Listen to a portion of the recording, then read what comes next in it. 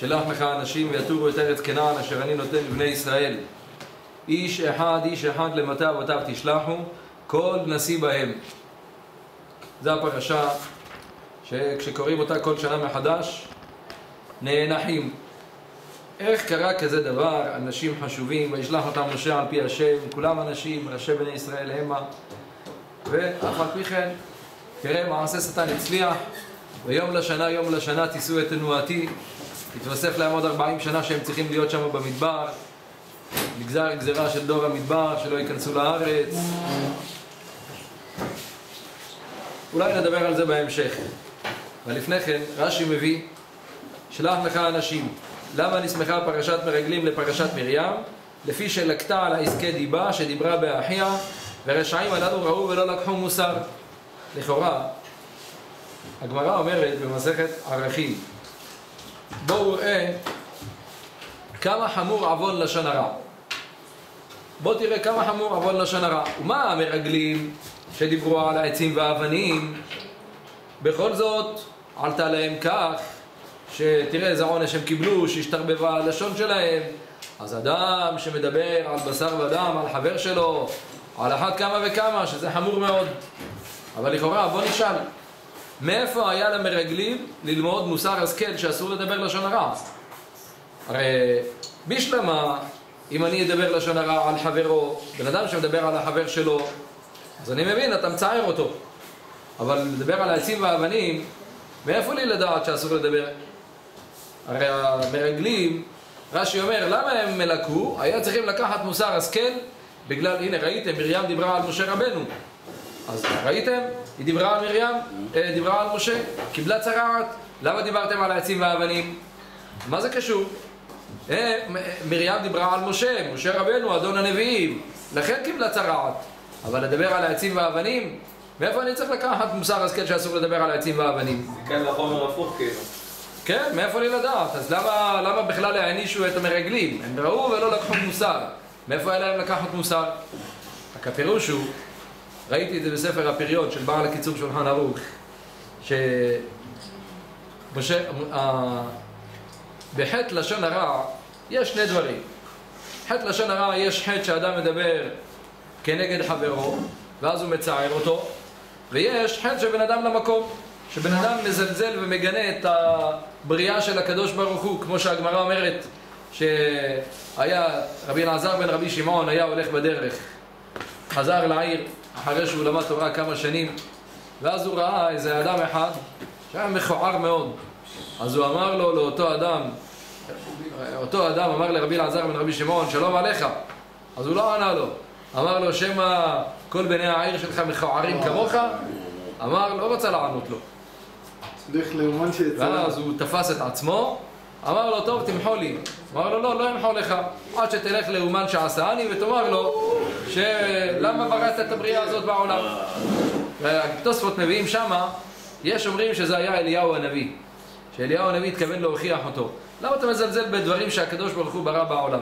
גם אם לך נראה שזה מיותר, והבריאה הזאת הוא מכוער הבן אדם הזה, אבל למה אתה מזלזל? זה בריאה של הקדוש ברוך הוא.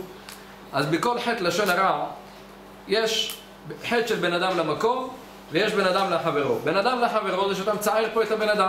בן אדם למקום זה שהקדוש ברוך הוא ברא בריאה בעולם ואתה מזלזל בה. ממילא, משה רבנו, כשמרים דיברה על משה רבנו, משה רבנו הוא האיש משה ענב מאוד מכל האדם אשר על פני האדמה. לא מזיז לו שום דבר מה שידברו עליו. ואף על פי כן אתה רואה שהקדוש ברוך הוא טבע את העלבון של מרים, את העלבון של משה רבנו, והעניש אותם. אז ממילא המרגלים היו צריכים ללמוד את המוסר השכל. תראו, הנה מרים, אפילו שהיא דיברה על משה, ומשה לא הצטער בזה, כי משה שתקן, משה לא דיבר כלום. אף על פי כן, הקדוש ברוך הוא מעניש על לשון הרע. אז אתם, למה אתם מדברים על העצים והאבנים? גם על העצים והאבנים אסור לדבר. אבל למשה שאל שאלות, הטובה עם רעה, הם, יכול להיות שהיו צריכים לחשוב שהשם עושה להם כל כך הרבה ניסים, שמה שהציפו אין, אין בעיה בכלל שיהיה הכל בסדר. אבל בגדול משה אה, אמר להם, הטובה עם רעה, עם, אה, עם צורות או הערים צורות או לא צורות. רק הם הוסיפו את הקטע, את ההסברים האישיים שלהם. זה הייתה הטענה כלפי... זה הייתה הטענה. למה הוספתם? אם הם היו באים ואומרים רק א', ב', ג', את הדברים הנכונים, אז לא הייתה טענה כלפיהם. אבל הם הוסיפו עוד כל מיני דברים, כמו שנראה בהמשך. בשביל זה תפסו אותם. אבל, ב...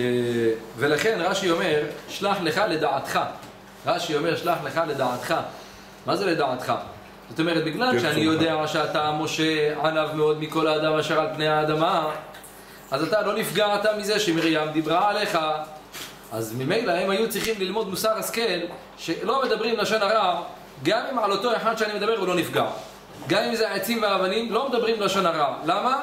כי זה בריאה של הקדוש ברוך הוא בעולם, ואסור לאדם לגנות ולזלזל במה שהקדוש ברוך הוא ברא בעולם. ראיתי פירוש ממש נפלא. שלח לך אנשים. רש"י אומר, כל אנשים שבמקרא, לשון חשיבות. זה רש"י. יונתן בן עוזיאל אומר, זה, אני אומר לכם, יהלום שבכתר. הפירוש הזה ממש מתוק מדבר.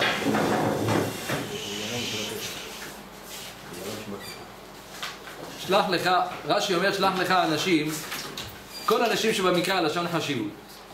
התרגום יונתן בן עוזיאל אומר, שלח לך אנשים גוברין חריפין.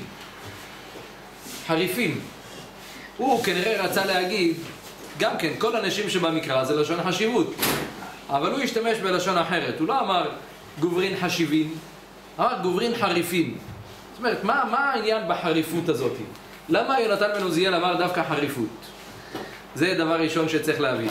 אז ראיתי בספר יד דוד של הרב דוד אופנהיים. החידה מביא אותו וממש מזכיר אותו לשבח, העריך אותו מאוד. רואים מהדברי תורה שלו את החריפות שהייתה לו. אז הוא אומר ככה, תשמעו, צריך קצת לחשוב, אבל הפלא ופלא.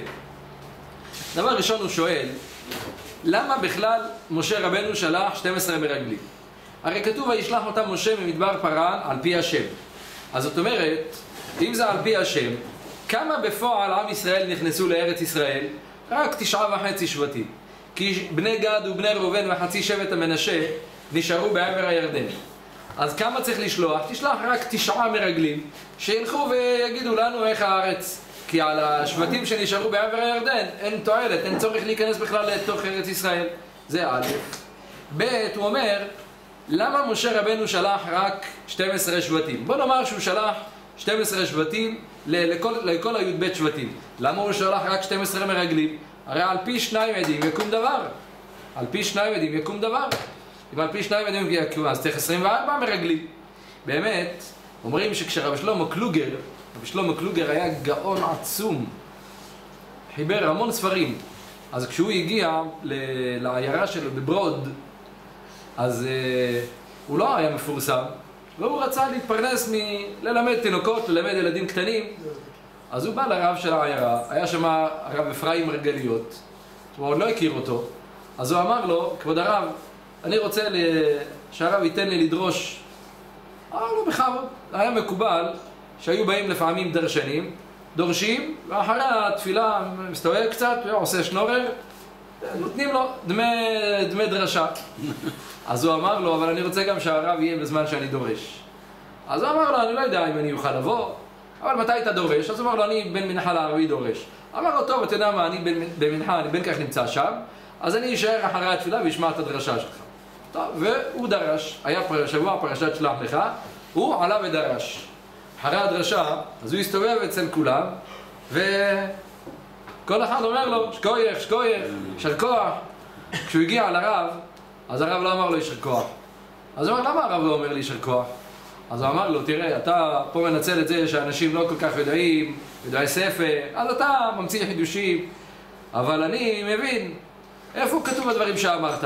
אמר לו, מה, מה לא טוב במה שאמרתי? אמר לו, אתה אמרת שהיו 24 מרגלים. איזה המצאה הזאת שהיו 24 מרגלים? אמר לו, במחילה מכבודו, יש תוספות מפורש במסכת סוטה, בדף ל"ד, תוספות מביאים דעת רבי ישמעאל שהיו 24 מרגלים. נייטה ספר והניח זה, בוא נביא ספר נראה. פתח לו, ראו שלדעת רבי ישמעאל היו 24 מרגלים. אמר לו, מהיום אתה לא דורש פה ועושה שנורר. נתן לו איזה תפקיד, איזה משהו מסודר, ומאז הוא התפרסם שם במקום ועלה ונתעלה. באמת, דעת רבי ישמעאל שצריך, היו 24 מרגלים. ככה הוא מחשבן, דעת רבי ישמעאל. רבי עקיבא חולק עליו. אבל רבי ישמעאל, לכאורה, זה מובן, אם נגיד שעל פי שניים עדים יקום דבר, יש י"ב שבטים, כל שבט רוצה שני נציגים, על פי שניים עדים יקום דבר. אבל דעת, רק שנייה, אבל דעת רבי ישמעאל, דעת רבי עקיבא, שהיו רק י"ב מרגלים. אם היו רק 12 מרגלים, אז חוזרות שתי השאלות ששאלנו מקודם. למה 12? מספיק 9. ואם אתה שולח 9, למה 9? עד שלה 18. המספר פה צריך ביאור, ממה נפשך? אחד לכל שבט לא מספיק. אז הוא מביא גמרא, וזה הפלא ופלא. הגמרא אומרת במסכת ברכות, שני תלמידי חכמים שמחדדים זה לזה בהלכה, אז הם מצטרפים לזימון. זאת אומרת, אם יש שני תלמידי חכמים שהם חריפים, מחדדים אחד את השני, אז הם נחשבים, אומר רש"י בדף מ"ז עמוד ב', הם נחשבים כשלושה לעניין צירוף זימון. אומרת הגמרא, אמה מחווה רב חסדה, רב חסדה היה אומר, כגון אנה ורב ששת. ורב ששת היה אומר כגון אני ורב חסדה. שנינו, אחד ש... שניים שמחדדים אחד את השני, אז שנינו חשובים כמו שלושה. אז הוא אומר, לפי זה נפלא. אם הם שניים שהם חשובים, שהם חריפים, לא סתם חשובים, שהם חריפים, אז כל שניים נחשבים כמו שלושה. אז יוצא, משה רבנו היה צריך לשלוח רק לתשעה שבטים, ועל כל שבט הוא צריך לשלוח שני מרגלים. שני מרגלים, אז זה ביחד 18. הוא שלח 12, שמכל, מתוך ה-12 האלה כל שניים חשובים כמו שלושה, אז ביחד זה יוצא 18. אז לפי זה, מובן למה התרגום יונתן בן עוזיאל אמר שהוא שלח גוברים חריפים, כי הוא רצה לרצות, לצאת ידי חובה, לשלוח לתשעה שבטים, ושלכל שבט יחשב כאילו יש פה שניים, לכן שלח גוברים חריפים. יש אסמכתה מפשט הפסוק. שמה? שלח אנשים, איש אחד, איש אחד, בסדר, לא רק פעם אחת. נכון? זהו, סבבה ומה רבי עקיבא יגיד?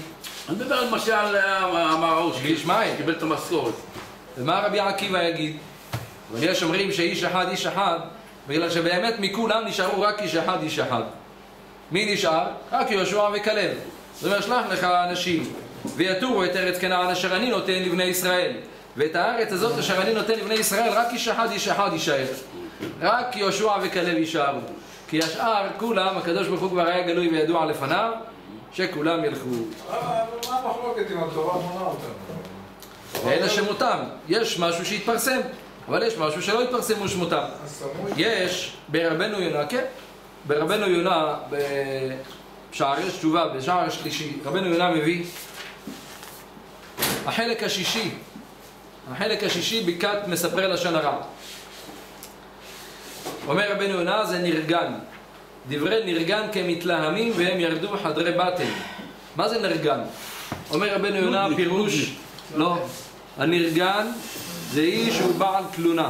הוא כל הזמן מתלונן. דרכו וחוקו להתאונן ולהתרעם, וימצא תנועות על חברו תמיד, על מעשיו ועל דבריו, ואף על פי שחברו בתומו מתהלך עמו ולא זד עליו בדבר, תמיד הוא ידון אותו לחובה ולא לזכות. כל שגגה הוא יעשה את זה כזדון. והוא ישים את עצמו מסכן, עשוק ועלום, וכאילו כבד חטאת חברו עליו, ולמעשה הוא המכה והוא ההולם, כי מי שילין תלונות על חברו כאשר לא נגעו וכאשר עשה עמו רק טוב זה סער מתחולל על הלב. אומר רבנו יהודה וזהו ותרגנו באהליכם ותאמרו בשנאת השם אותנו הוציאנו ממצרים להמית וכולי ותרגנו באהליכם הטענה על דור, על דור המדבר היה ותרגנו באהליכם הם נכנסו לארץ ישראל. ראו כל מה שה... כל הניסים זה הפלא ופלא.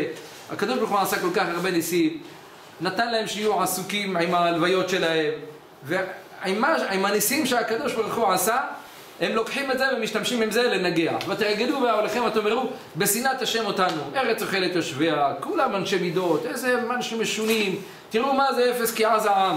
זה דברי נרגנות. ראינו את זה, זה גם בין הפרשה שלנו לפרשה שעברה. בפרשה שעברה כתוב, וינף אותם אהרון תנופה לפני השם. אהרון הכהן היה צריך להניף 22 אלף לוויים, 22 אלף אהרון הניף ביום אחד. איך אהרון הניף? בן אדם יכול להניף, אל תניף כלום. תעשה עם היד שלך ככה 22 אלף פעם. איך בקושי אלף פעם תעשה, תצטרך כבר פיזיותרפיה. ואהרון הניף אותם, אומר הרמב"ן, זה וקובע השם יחליפו כוח. הקדוש ברוך הוא נתן לו כוח. איפה הזמן? אבל רואים שקורח, כשהוא רצה לעשות איזה דברי לצדיק ממשה ואהרון, אז הוא, אשתו אומרת לו לקורח, ראית מה עשה לך אהרון הכהן הזה? תפס אותך, נענע אותך כמו לולב. מה, ככה אתה שותק? לא. אבל תעזוב את זה שהוא נענע אותך כמו לולב, אבל תראה את הנס הזה, מה אתה לא, יום שלם אתה עומד, אתה רואה, הבן אדם מניף פה 22 אלף.